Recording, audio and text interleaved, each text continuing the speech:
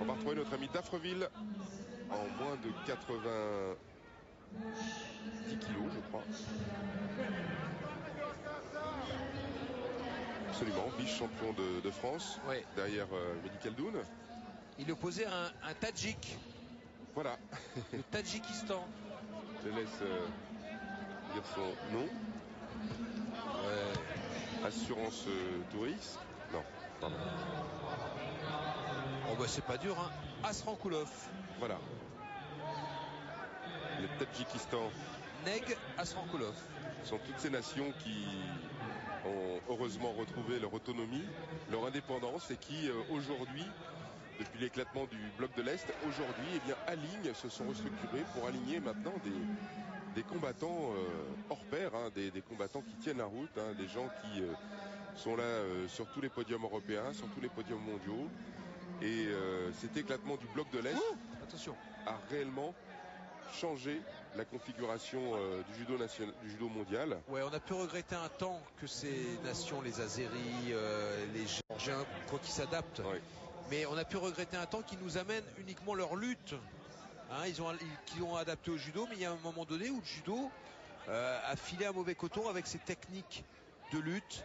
Et puis, et puis, tout le monde est rentré dans le rang. On est revenu à des, bases plus judo, j'allais dire plus techniques, plus japonaises avec des vrais mouvements de judo et non plus des techniques de lutte, des arrachés qui existent encore mais qui ont été adaptés pour vraiment faire chuter et non plus prendre les pantalons et jeter un peu n'importe comment.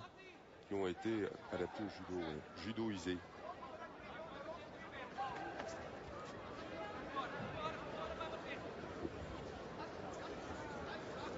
Voilà notre ami d'Affreville qui euh, qui est en course, hein, lui aussi, qui est un jeune de la catégorie, qui est en course pour montrer euh, qu'il peut être le chef de la meute dans cette catégorie des moins de 90 kilos. En blanc, hein, à gauche de votre écran.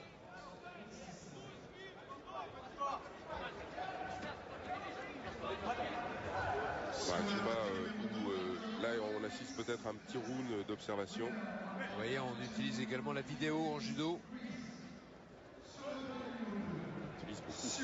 Beaucoup. Qui était bien mené. derrière. Ben, ils ont considéré que ça démarrait du sol. ils, le mettent quand même le Yuko. Si, si, si, Ça c'est magnifique ce qu'il vient de faire. Il était pris.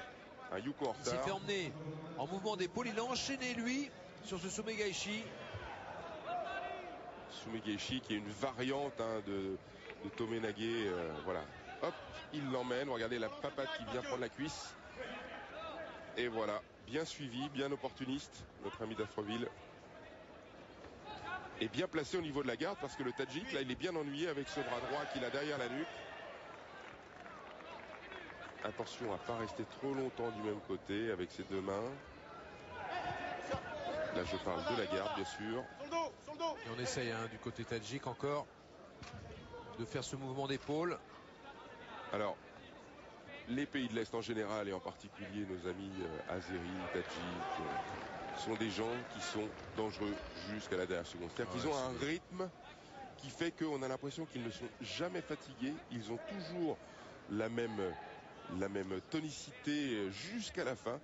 C'est pas des rythmes très très explosifs, mais ils ont toujours le même rythme et ça, on peut considérer et le savoir d'entrée qu'on aura affaire à un un adversaire d'aplomb jusqu'à la dernière seconde. Non, puis David, il y a un truc, c'est que nous, par exemple, dans notre culture, on a euh, des valeurs de référence. Alors tout d'un coup, on dit oh là là, le japonais, le machin, le truc, et, lui doit être fort, et on s'en inquiète un peu. Eux, c'est des bourrins.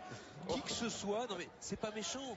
C'est pas méchant, c'est dans leur mentalité. Ils s'en foutent, ils ont un humain en face d'eux qui que ce soit, il lui rentre dedans.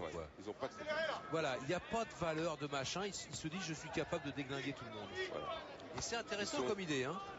Des... Oh, le pion La rapidité. Il est venu chercher derrière légèrement et puis il est reparti sur euh, un voilà, à gauche là. Il s'en veut, il s'en veut là.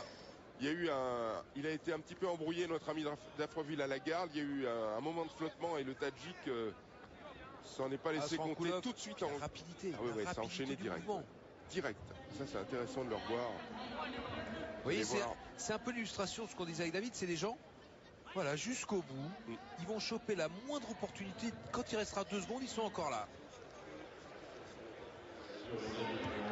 Regardez, hop, il. Il n'a pas la ceinture, mais il a le pantalon et il fait Osoto. Ah oui. Oh, c'est très très bien ça. Il fait croire qu'il va partir sur l'arrière, sur l'avant et il revient Ah, il a bien enroulé, enroulé. C'est très judo, très judo. Très ça, hein. judo, oui, parce que euh, il a à un moment donné montré à notre ami d'Afroville qui travaillait à droite et là, qui travaillait à gauche, pardon, et là il est parti sur la droite. Alors c'est très surprenant. Mais